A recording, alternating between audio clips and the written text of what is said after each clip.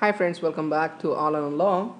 Um, this is quick internal medicine, and today, tell me what if anterior cerebral artery is occluded? What are the symptoms?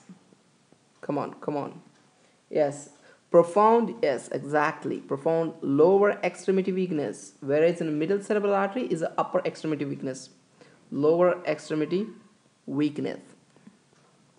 Okay, this is a revision for USMLE guys okay? And there can be what we call mild upper extremity weakness. This is profound okay? And this is a mild upper extremity weakness. This is a very important topic for USMLE guys. And in this they should give the personality changes personality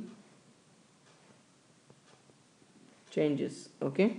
And another important is urinary incontinence incontinence.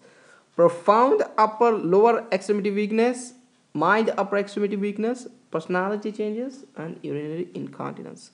Excellent, guys. Take care.